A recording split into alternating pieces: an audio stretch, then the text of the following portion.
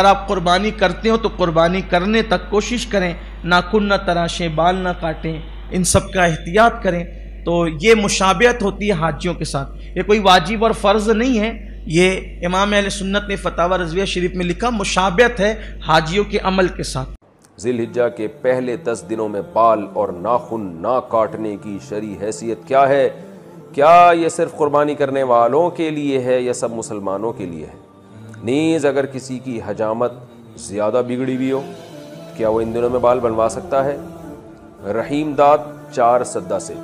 जिलहिजे का चाँद नज़र आ जाए तो हदीस में आता है कि वो शख्स जिसने कुर्बानी करनी है, कुर्बानी का इरादा है जिसका, हर आदमी के लिए नहीं है, जिसने कुर्बानी करनी है, जिसका इरादा है। ज़ाहिर है, मालदार का इरादा होता है। और अगर गरीब का इरादा बन गया है, वाजिब तो नहीं है गरीब पर, लेकिन वो इरादा कर लेता है। तो उसके लिए भी मुस्तहब हुक्म ये है कि वो नाखून और बाल ना काटे यानी चाँद नज़र आने से पहले पहले काट ले और फिर इन दस दिनों में ना काटे। और वो जब काटे जब जानवर के गले पे छुरी चल जाए। ये अफजल अमल है बेहतर अमल है लाजिम नहीं है। हदीस शरीफ में जो हुक्म है उनके लिए जिन लोगों ने कुर्बानी करनी हो उनके लिए अफजल ये है कि ये दस दिन जो है वो अपनी हजामत वगैरह ना करें। वरना करें तो जायज़ है कोई मसला नहीं। जब चाँद नज़र आ जाए सही जामे की रिवायत है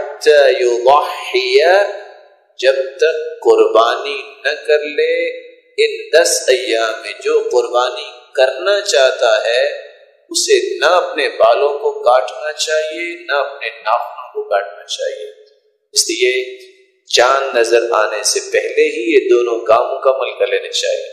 और तीसरी रिवायत के अल्फाज हैं, फला मिन शअरिही वला दशरिही शैआ अपने बालों को भी ना ले और ना ही जिसम के किसी हिस्से से बालों को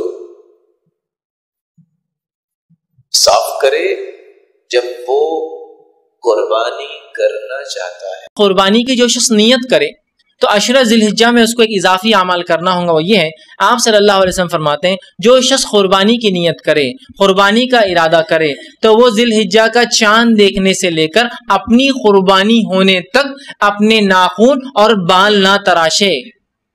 ये अमल आपको करना है। जो इंसान कुर्बानी दे रहा है, वो इंसान जो है अपने बाल और अपने नाखून नहीं काटेंगे। कब तक? जब तक कि कुर्बानी ना हो जाए, जब तक ईद की नमाज़ ना पढ़ ले नहीं, जब तक कि कुर्बानी ना हो जाए तो आप तब, जब कुर्बानी हो जाएँगी, तब आप काटेंगे। तो जो शख्स इरादा करे कुर्बानी करने का, वो जिल हिज्जा के चाँद देखने से लेकर जिल हिज्जा मतलब चाँद देखने से लेकर अपनी कुर्बानी करने तक, कुर्बानी करने तक बाल और नाखून नहीं तराशेंगा। ये जो हदीस है, सही मुस्लिम की, कि आप सल्लल्लाहु अलैहि वसल्लम ने फरमाया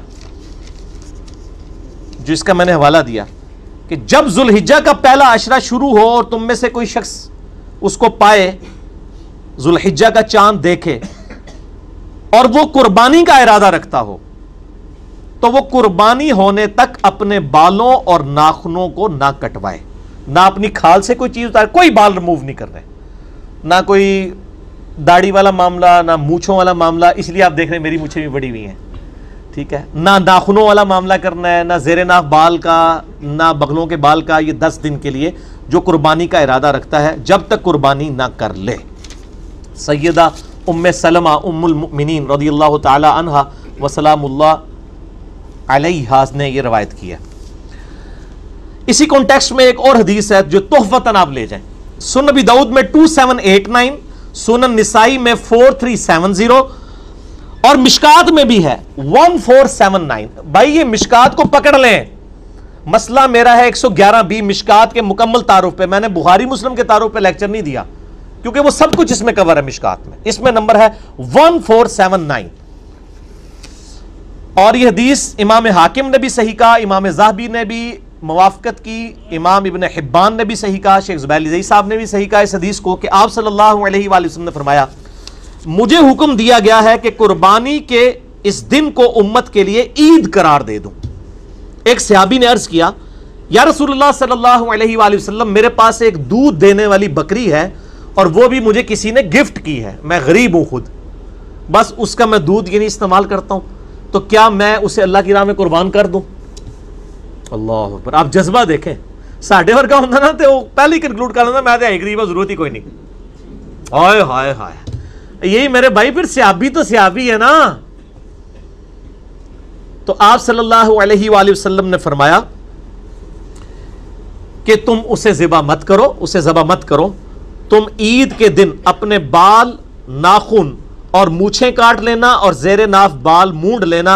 अल्लाह के यहाँ तुम्हारी मुकम्मल कुर्बानी लिखी जाएगी। सुबहान यह है अल्लाह ताला की रहमत। इसमें इंप्लाइड है फिर के जिसने कुर्बानी नहीं भी करनी, ना वो भी इन दस दिनों के अंदर ये बाल साफ़ ना करे, नाखून ना कटवाए। अगर कटवा भी लेता है तब भी इसमें चूँकि अल्फाज इस तरह की कैद कोई नहीं, मैं इजहाद कर रहा हूँ। तब भी ईद वाले दिन वो ये बाल गैर ज़रूरी साफ़ करे और नाखून काट ले, अल्लाह ताला उसको एक कुर्बानी का सवाब इन ताला अता कर देगा। लेकिन ये याद रखें, ये सारी चीज़ें सुन्नत है। कुर्बानी वाले बंदे के लिए भी ये सुन्नत है। अगर उसने गलती से बाल काट लिए या जानबूझ के भी काट लिए तो वो हराम का मुर्तकिब नहीं होगा। ना दम वाजिब होगा। मुझे तो लोग ईमेल्स पर यह भी पूछ रहे होते हैं कि दम तो नहीं वाजिब हो जाएगा। एक कुर्बानी देने में से एक और कुर्बानी देनी पै जाए। वो दम वाला मामला जो है, वो एहराम की हालत में हाजियों के लिए होता है। ये उनकी हाजियों की सिर्फ़ नकल उतारी गई है। उनके साथ मुशाबहत पैदा की गई है। इस वजह से एक सवाब वाला काम है। अगर कोई मतलब नहीं करता गुनागार नहीं होगा।